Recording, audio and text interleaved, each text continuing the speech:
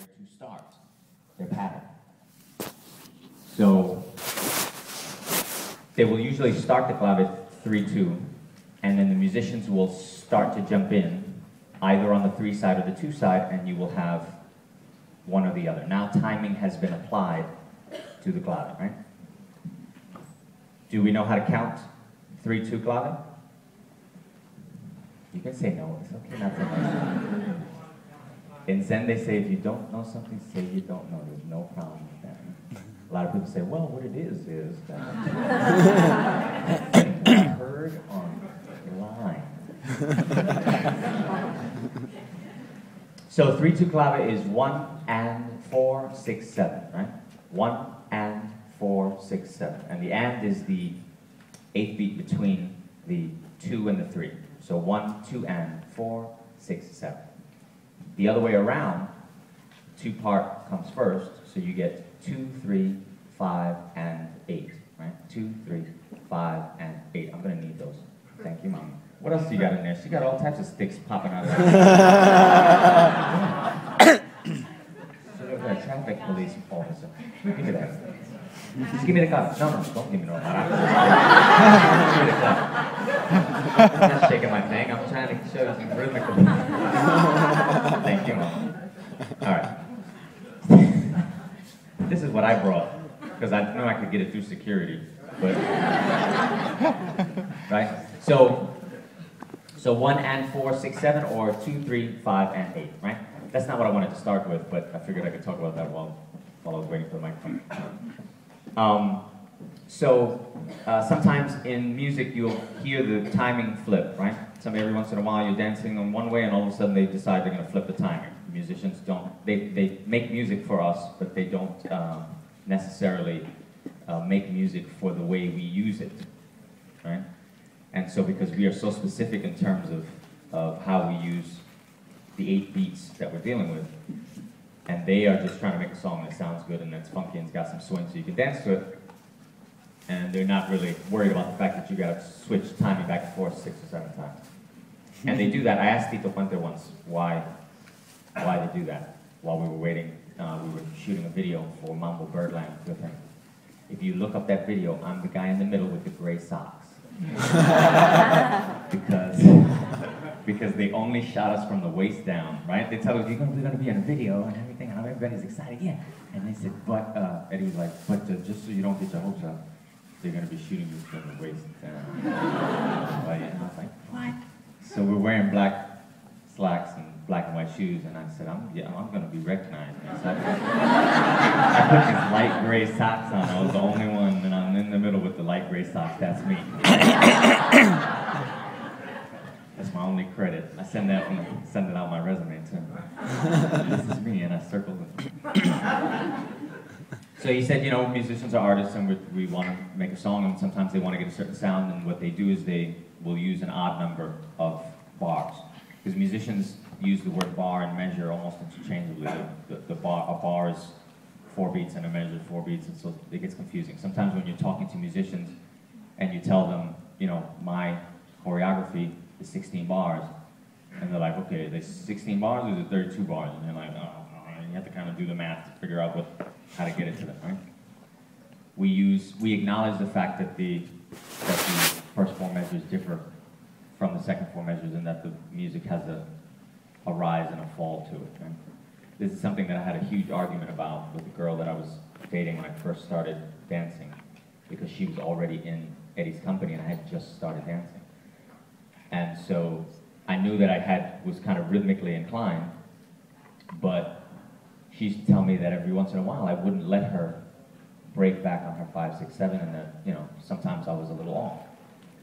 And I was like, what are you talking about? You're saying that I'm not, I don't have rhythm? And she's like, no, you have rhythm. It's just that, because I thought they were counting one, two, three, five, six, seven because I was stepping forward and stepping back and they were acknowledging the fact that we're stepping back, so we're going to call it five, six, seven, but that it was counted one, two, three, four, one, two, three, four musically.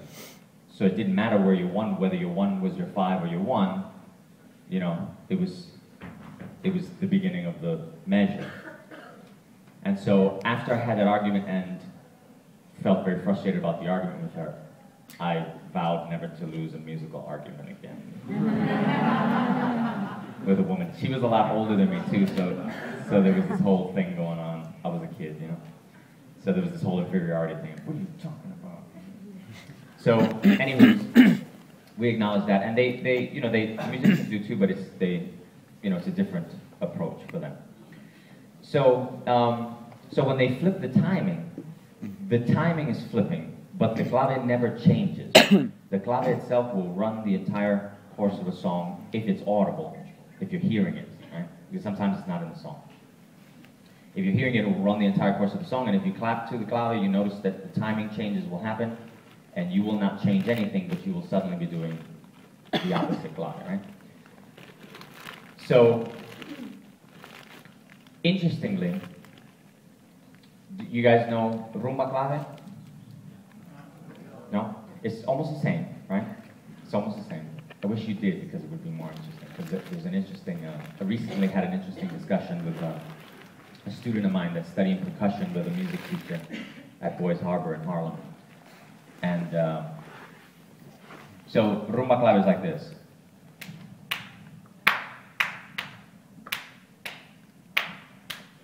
Right? Why am I clapping?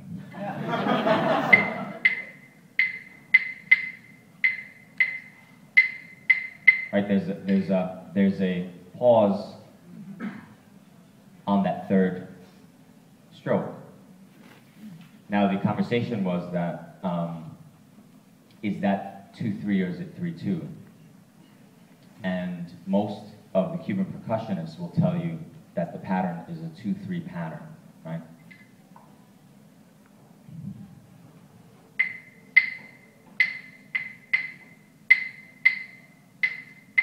right? Sounds like there's two strokes and then there's three strokes.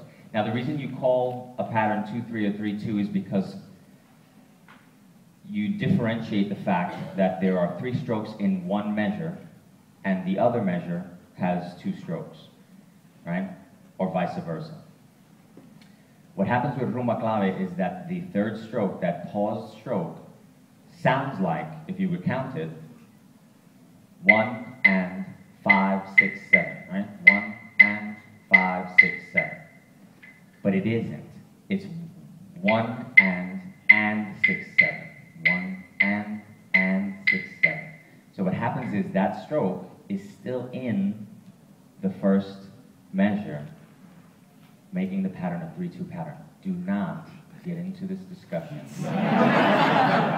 with a Cuban drummer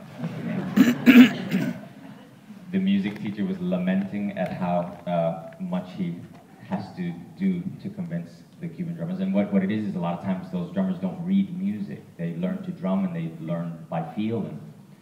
So the um, it's very easy to count it five, six, seven. It's, I mean, it's right there, and it's very hard to catch that if you're uh, if you're not literally looking at where those strokes land on a musical sheet.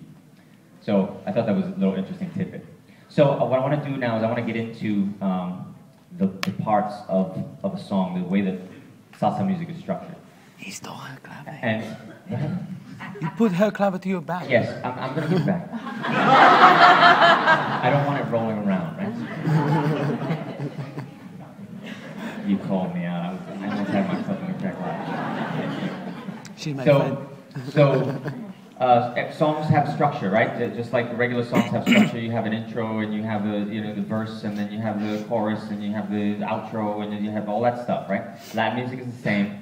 Um, the thing with with Latin music is that those structures are very specific, but they don't always happen, right? They they're happening in very classic songs where there's vocalization, right? Where you have singing going on when you have songs that are instrumentals and they're more kind of jam sessions, you're going to get different structures. And some of these structures get repeated and toggled between several times, right? But just acknowledging the fact that the music isn't just the music all the way through and its randomness to the end of the song, that they're actually progressing through stages in the music, right? when I was young, I took a musical appreciation class, and the teacher had us do an interesting exercise, which uh, I'm going to kind of do quickly with you guys with some music in a second before I even label what those parts of the song are. But what we're going to do is we're going to play a song, and as the song happens, she would have us mark A as the song started, right? So the intro gets an A. When the song changes at all, you give it a B, right? If it changes again and it's something new, then it's a C. If it's something you have already heard before, then you give it that annotation. And at the end of the day, when you look at the, uh, not at the end of the day, I hope it does not doesn't take you a day to do it. After the song is over, right, you look at the sheet and you have this strange encryption of the progression of the song. And this is interesting to me because I started to use this when I would choreograph. That's how I started to wrap my head around the art of choreography by separating the song into parts to figure out how I was going to approach these things, right? So what would happen is I would notice where there was repetition in the, in the song. And I would try to echo physically what was happening in those parts. What that does, and it's, it's funny because as a social dancer, if you are if you're dancing leisurely, there are things that you uh, don't get to get into and you don't get to experience because you are not dealing with the with some of the performance aspects of the the art form. I remember when I was taking classes with Eddie, there was things that we would learn in class, and there were things that his dancers would do on stage that we never did in class. And I knew that the only way I was going to learn those things is if I got into the company and we did those things because they were performance-specific type of thing, you know? Now there's no distinction. Now everybody's doing whatever they do on the stage is happening all over the damn place. So there's no real separation. But there were things that, you know, he didn't teach these air tours, these back spot turn, you flip the lady up in the air and hello, grandma? Is that you? so, uh, but when I got into chore- when I started to choreograph, things became different in terms of how I approached dancing socially, or, or the improvisational aspect of what I was doing. And this was one of those things. To see the song laid out like that, it gave me a different perspective of how a social dance would evolve through stages of the song. So I'm going to put a song on, and we're going to mark some of the changes, right? Then I'm going to name the changes, and we're going to do this quick because I want to open up um, for questions that you have also after we go through some of this stuff.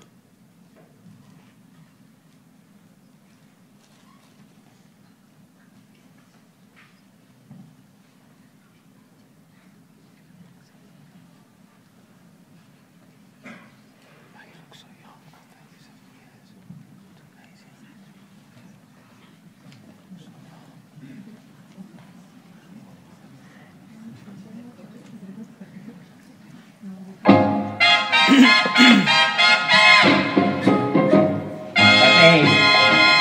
already changed.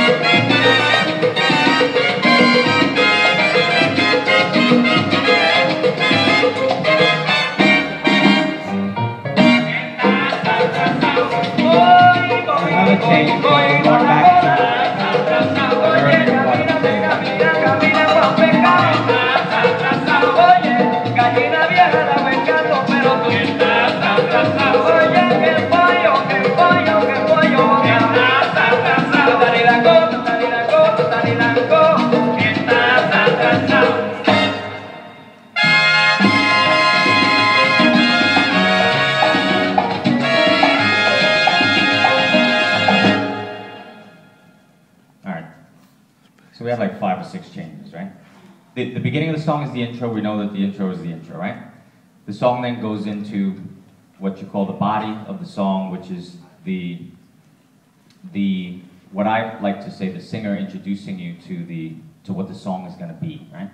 So usually the vocalist, the lead vocalist, is singing by himself.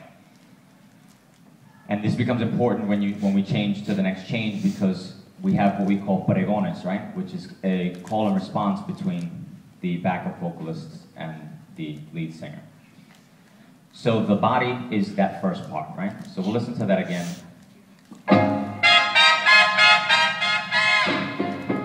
This is all intro. But the intro kind of changes from that little phrase at the beginning to now this, them playing.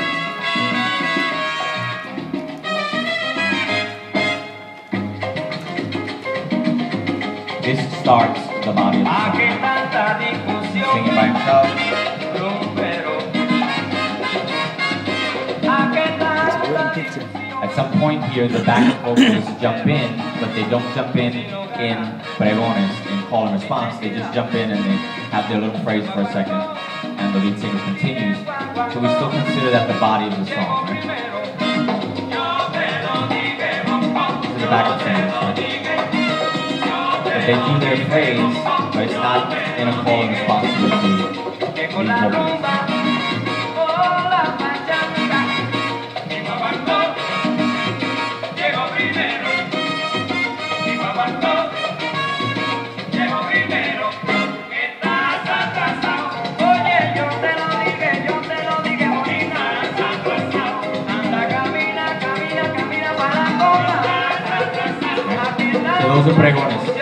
That change, right, is usually that change is usually initiated by a bridge, right? You have a bridge that takes you from the body of the song into the section where you have the call and response.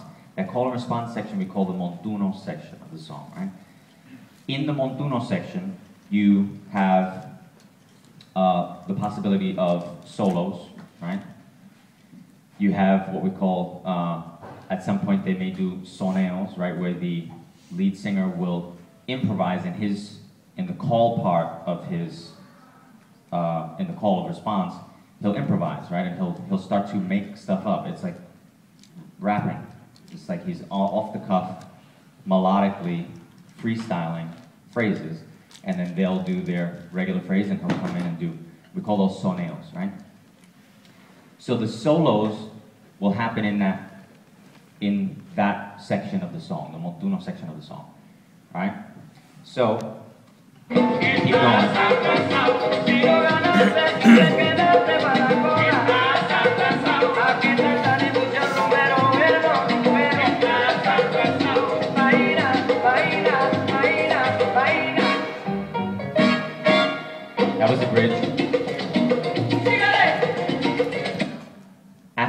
Montuno section, the montuno section will always lead you into what we call uh, the mambo, right? The mambo section, sometimes they call it la moña, right? Because moñas are these um, horn arrangements that start to happen, become very predominant three quarters of the way through the song. So they may say la moña, which is when the song starts to kick. When, as a, as a performer, when you are accompanying a band, there's appropriate times to come in with the band, and there are inappropriate times to come in to dance with the band. If the musicians are soloing, you get your ass off the stage, right? Because the, the musicians are doing their thing. If the lead singer is doing soneos, the lead singer's doing his thing, right? So you get your butt off the stage. So the montuno section is not a great time for you to be on stage dancing while the band is going. But when the mambo kicks, which is usually instrumental, but the mambo is recognized because you haven't heard it before. It's a, it's a completely new section of music that you haven't heard up to this point. It kicks off, boom, something completely new. Then you come in and you jam. They go back and forth sometimes, most of the time, between mambo and montuno, several times, sometimes almost sickeningly, back and forth between, not, not in a bad way, but in the sense that when you're trying to figure it out, you're like, oh, it's another montuno. Oh, it's another mambo. It's back to the montuno. They go back and forth and back and forth. So I want you to listen to the to the mambo here as it kicks. Dígale.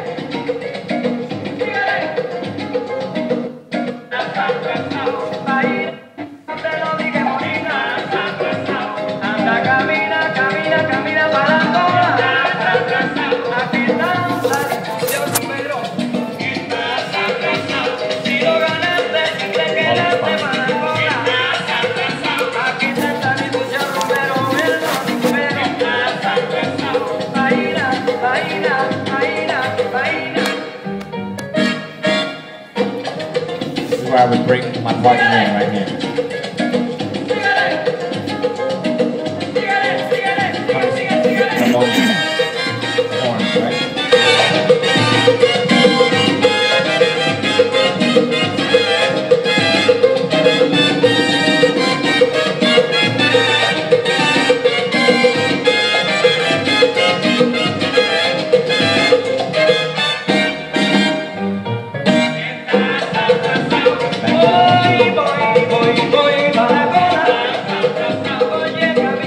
at that. point,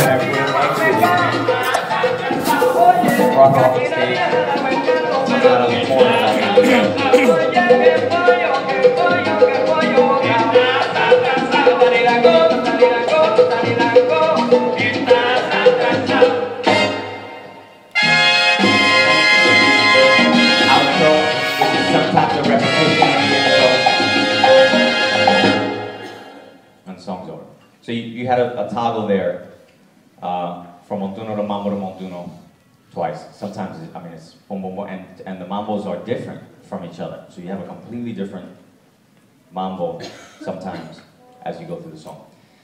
The, the point of knowing this is it's, it's all very cool that you know this stuff.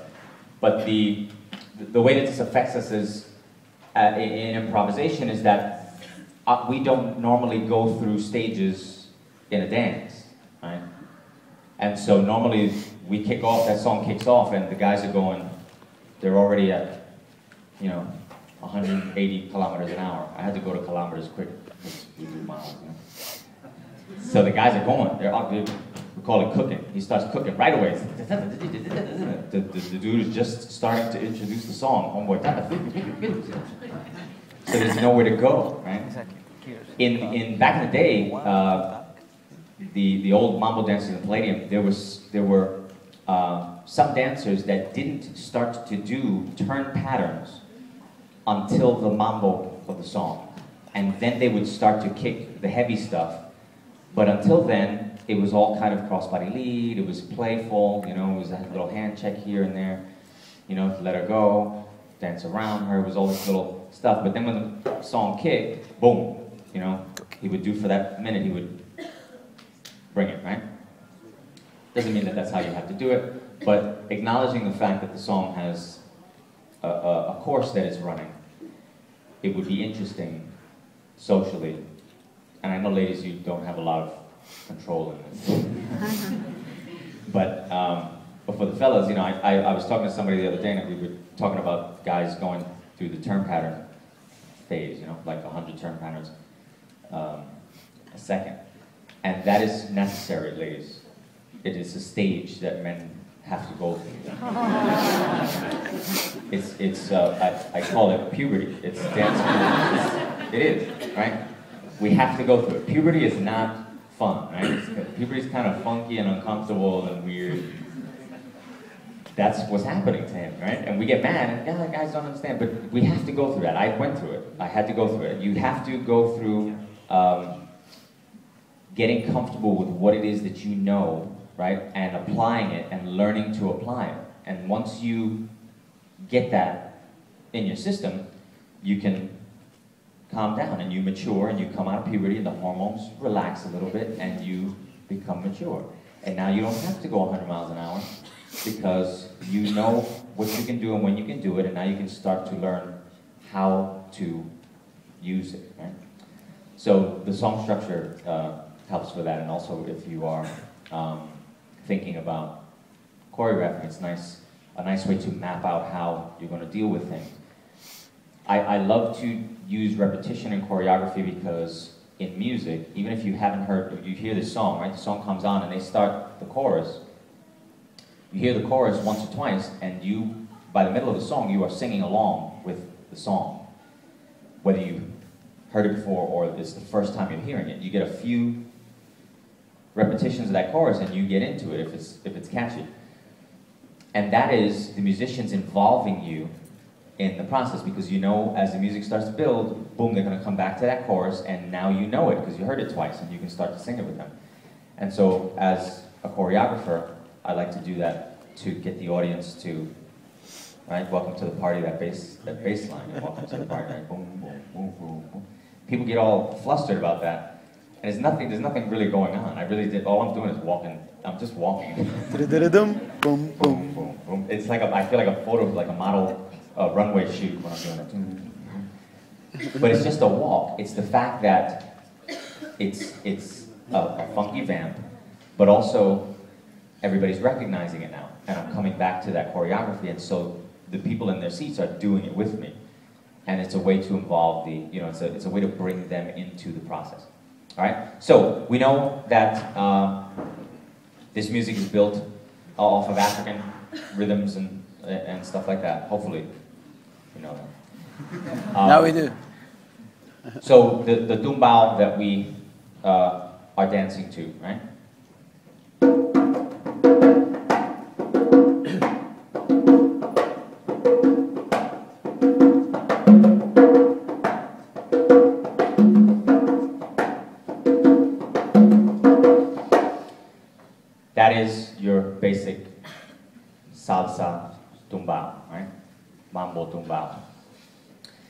The two is, is the, the basic step on two is based on this tumbao.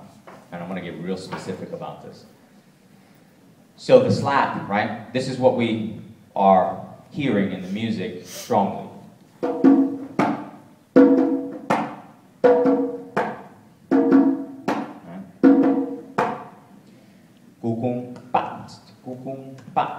That's what kind of gets to your ear because of the the open tones. The slap sometimes is really hard to hear unless you have somebody like, yes, Joe, Jesus. This is really a four-hour thing. Um, trying to squeeze it. Keep going, right? So the, the two is based, that rock step is based on the slap, right? I'm trying to hit that slap with the, with the rock step, with the long step in my basic step. Now, the open tones, when somebody teaches dance uh, and they know about this, they will use this phrase, right, to tell people what they're connecting to in the music so that they use their basic step. The problem is that these open tones are not on the one, right? And when you are teaching dance, we teach one, two, three, five, six, seven, right? Those open tones are, this is 1 and 2 and 3 and 4 and 5 and 6 and 7 and 8 and 1 and 2 and 3 and 4 and 5 and 6, right? So the 2 and the 6 have the slaps, but the open tones, right? 1 and 2 and 3 and 4 and 5 and 6 and 7, right? So we're on the 4 and and the 8 and, which you recognize from cha-cha-cha. 4 and 5, 6, 7, 8 and 1, 2, 3, 4 and 5, 6, 7. Now what happens is most of the time these teachers are, are talking about the, the right hand, right? The right hand is making that pattern. The left hand is doing significantly more than the right hand is doing. But it is so chunky and it is in the midst of so many other things happening, the clave, the cascara pattern, the bongocero, that it gets lost a little bit in terms of what instrument it belongs to, right? But the left hand is doing this. Right? And this is one, right? One hand. So the heel is hitting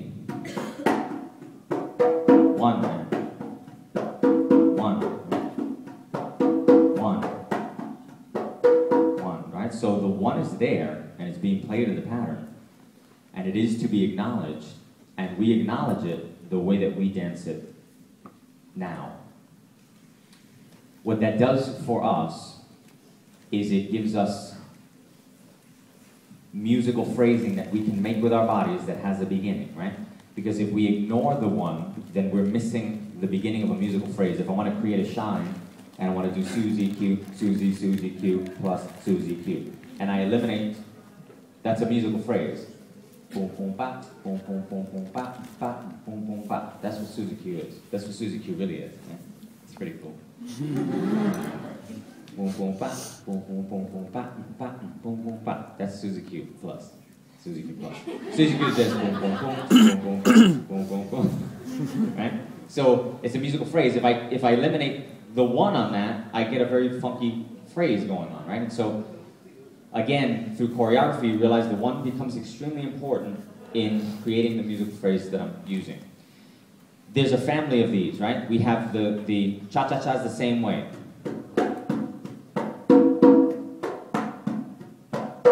Right? And there's one more, the son, the, the difference between the son tumbao and the mambo tumbao is the difference between the open tones before the slap. They have two open tones and then only one the second time, right? So as opposed to this, you get this.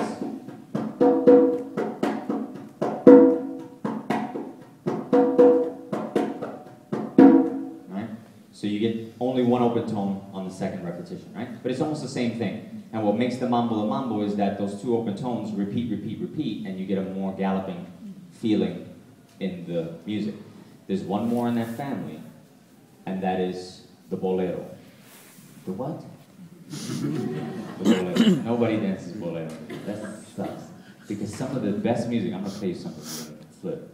You're gonna wait a second. Because uh, some of these, some of the best songs start out as boleros and turn into the funkiest, crunchiest, grittiest, nastiest, greasiest cha-cha-chas you can ever believe.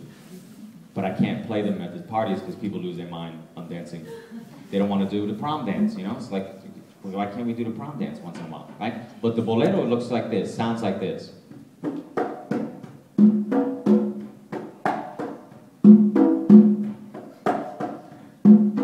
Salud. Right? It's almost the same thing. I get this, this interruption of the phrase here, but it's usually extremely, extremely slow. But it's in that family. And if you understand the bolero pattern, the basic step changes in your mind because we're using the, the one, two, three, right, in the pattern. So it's like me doing this. So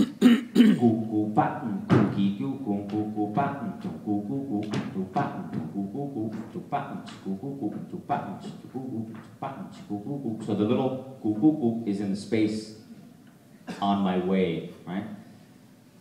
It gives you another perspective on the basic step in terms of how it would fit together in the music.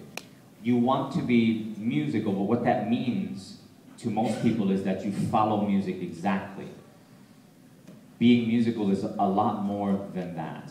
It's a lot more than just um, following music, because musicians don't necessarily follow each other. They coordinate with each other, but they have their own patterns, and they bring their own music to the fray, right? And so we have our basic pattern. That basic pattern has patterns of improvisation that go along with it, and that pattern is ours as a musician, right? As a physical musician. And now we are jamming with the band while they play their music, we bring our music to jam with the musician. As opposed to forever thinking that I need to follow the musicians that are over there, and I, as a, as a dancer, am over here, right? I consider myself a musician. My music is different, it's visual, but I'm still creating music. I'm still working phrases, and I'm still, when I am dancing, I'm usually clicking my teeth. It's probably a terrible habit. But I click my teeth while I, while I dance. It's, it's weird. I had a girl one time in Chicago. We were dancing, and she started clicking her teeth back at me because she noticed that I was doing it. And I was like, "Oh, kids, is that noticeable?" You know. But I was doing it. You know, I I. Um,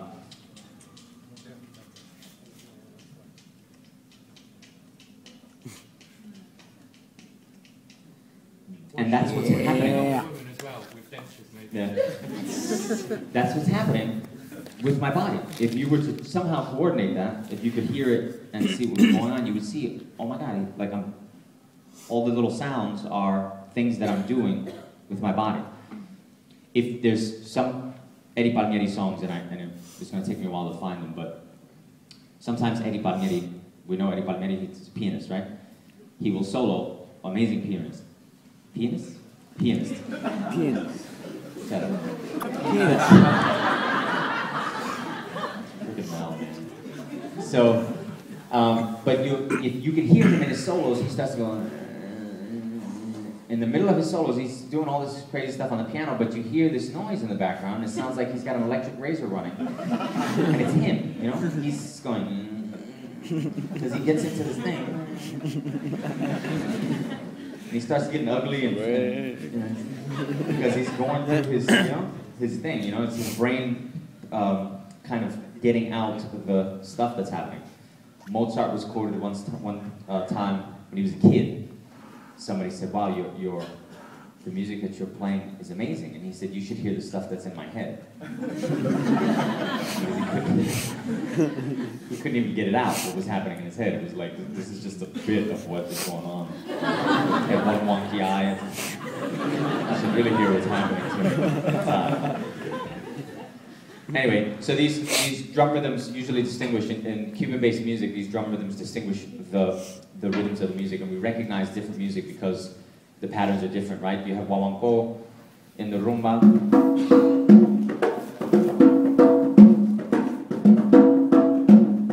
Right? You have uh, plena, right?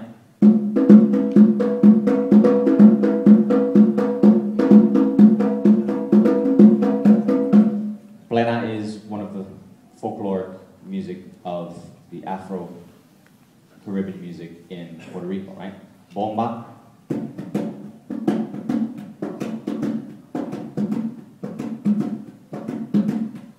The interesting thing about bomba, it's like um, in guaguancó, the, there is a drummer that is assigned to follow the male dancer in guaguancó, right? Bomba is there's a drummer who is assigned to the dancer, because there's usually only one dancer, that is dancing, and he is supposed to follow the dancer, right? Mm-hmm. Not the other way around. So the dancer creates the movements, and he's got to, right? He's got to do follow what they're doing, and you can't get ultra tricky and just kind of go crazy because the guy's not. you have to kind of set a rhythm that he can follow, and then, you know, you, you almost have to lead him as a lead would lead a woman. You have to kind of show that you're going to make a change so that he can follow you. And then, then you can try to trick him. But you got to be leading him in the first place. Make sure he's a good drummer that he stays with you. But it's an interesting concept because it, it goes back to what I was saying about instead of uh, having the concept of following music to to think about the fact that you are jamming with the band. You are an instrument, you are a, a person, a musician bringing an instrument on stage with a band that's already playing, and you're going to play your thing with them while they jam, right? I heard once a Latin harpist, right? A guy, little kid brought a harp up on the, on the jet, brought a harp onto the stage. Me finish my sentence, thank you kid brought a harp onto the stage, a harp.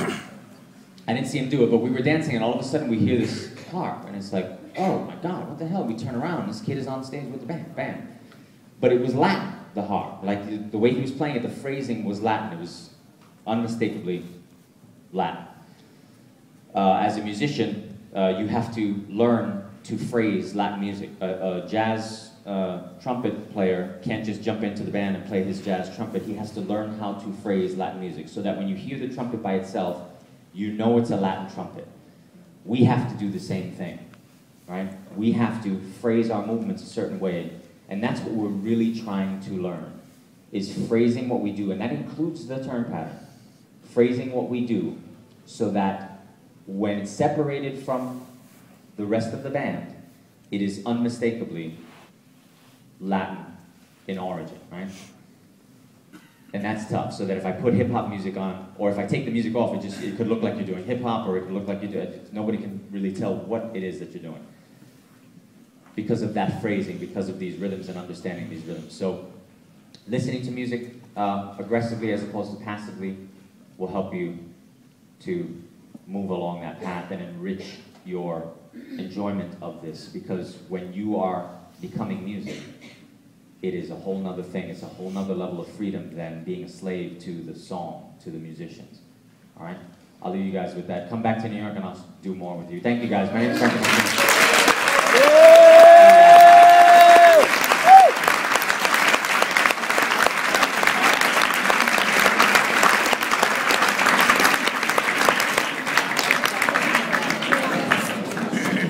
Give her the clave.